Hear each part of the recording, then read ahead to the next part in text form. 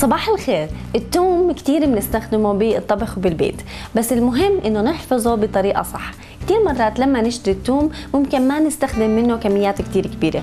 وإذا ضلوا بمنطقة كثير حارة أو بالمطبخ لفترات كثير طويلة بنلاحظ إنه ممكن يعفن ويخرب وإحنا نتخلص منه. فعشان هيك ممكن نعمل طريقة كثير سهلة.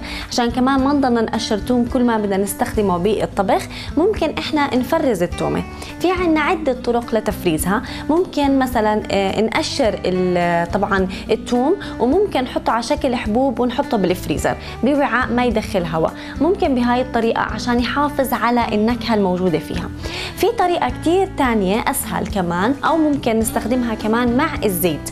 ممكن إنه إحنا نحط بالخلاط الثوم المقشر ونحط عليه أو نغمره بزيت الزيتون.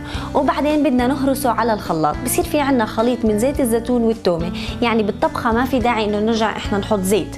بنحطه بوعاء طبعا يكون كتير نظيف وبنغلقه وبنفرزه بالفريزر.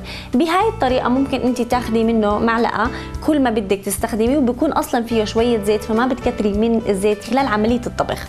ممكن كمان إذا ما بدنا نحطها بأوعية ممكن نحطها بالاوعيه اللي هي بتحفظي فيها الثلج نحط التوم المهروسة مع الزيت بهاي الأوعية وبصير عندك مكعبات صغيرة وممكن تاخذي منها مكعب بسيط لما بدك تستخدمي هذا التومه إشي كتير مهم. الهريس التوم مع زيت الزيتون ما بيصير يضل أبدا بحرارة الغرفة لفترة كتير طويلة لأنه التومة ممكن يكون في عندها بكتيريا بنسميها كلوستريديوم وهاي البكتيريا لا هوائية. فإحنا لما نحط زيت ونغمرها ممكن يساعد على نمو هاي البكتيريا وبتكون كتير سامة. فبدنا ننتبه إنه الزيت مع التومة يكون دائما بالفريزر نستخدم الكمية اللي بدنا إياها ونرجعها وما نخليها أبدا بحرارة الغرفة.